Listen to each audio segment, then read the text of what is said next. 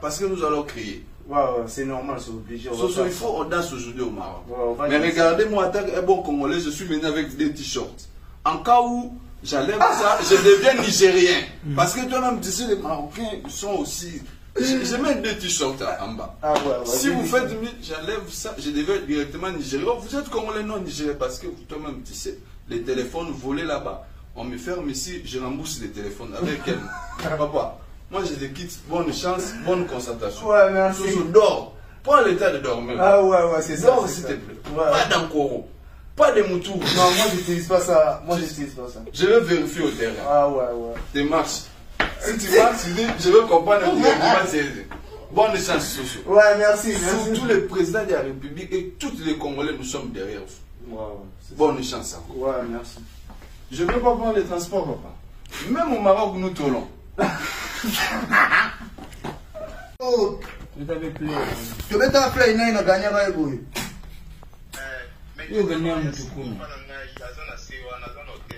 oyoka te nga na okita te nga na okosa te match fo nakita mwana okita ya te napesa ye sala boye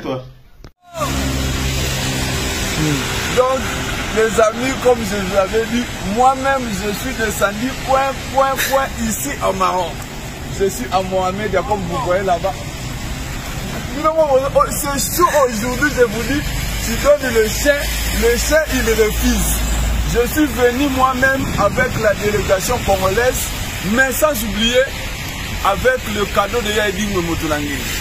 Yaedi m'a donné un bottine avec des pas. que je donne un joueur. Hier, j'étais avec Dieu Merci Je donne le bottine de Dimwe, il refuse.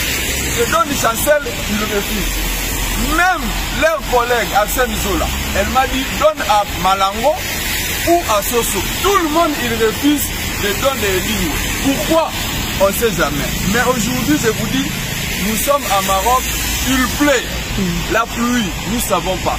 La pluie, c'est notre bénédiction ou de eux. Parce que eux, c'est les musulmans. Il faut la prière. Je lance ce message à toutes les gens de prière. Pasteur Pétage, pasteur de vidéo, tout le monde priait pour l'équipe nationale. Même le score, vous savez là où on voit le score là-bas. La délégation congolaise qui est venue aujourd'hui, ils ont venu avec des billes. Alors si les Marocains, ils ont 3, ça fait combien 3D. C'est chaud aujourd'hui, je vous dis, tout le monde qui me sauver.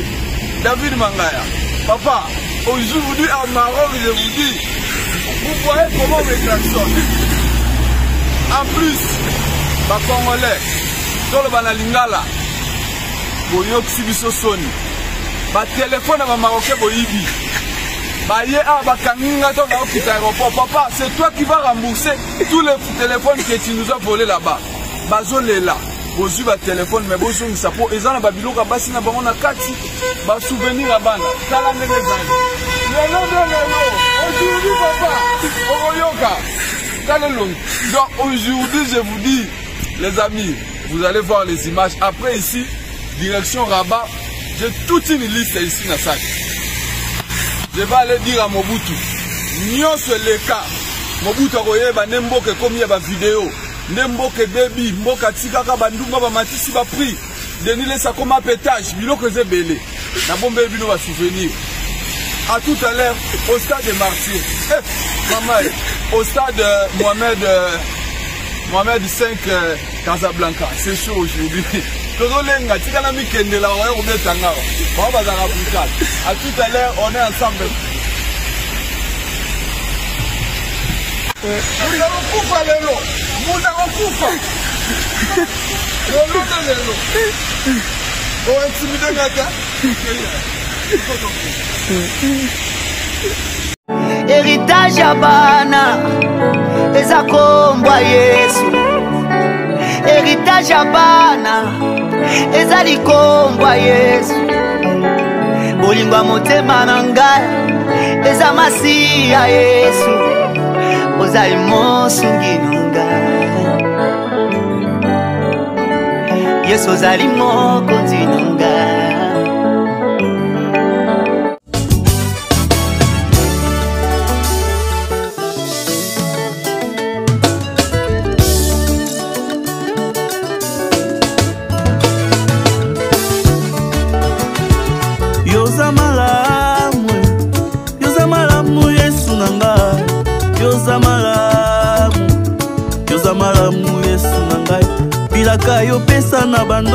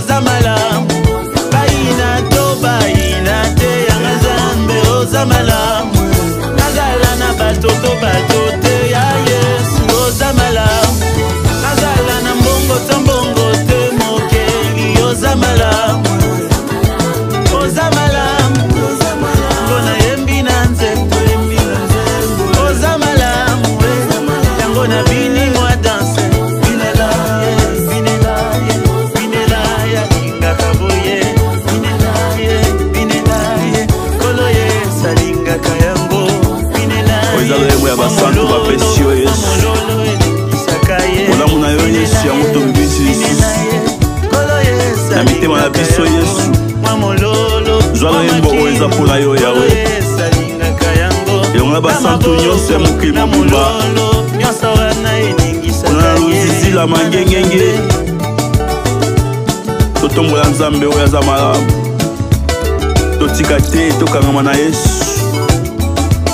oyo bolamu na yango toyembela nzembo zwa nkembo yesu oza malamu acclame le roi poussez le cri de joie pour jésus yesu aza na bomoi yesu aza malamu alleluya alleluya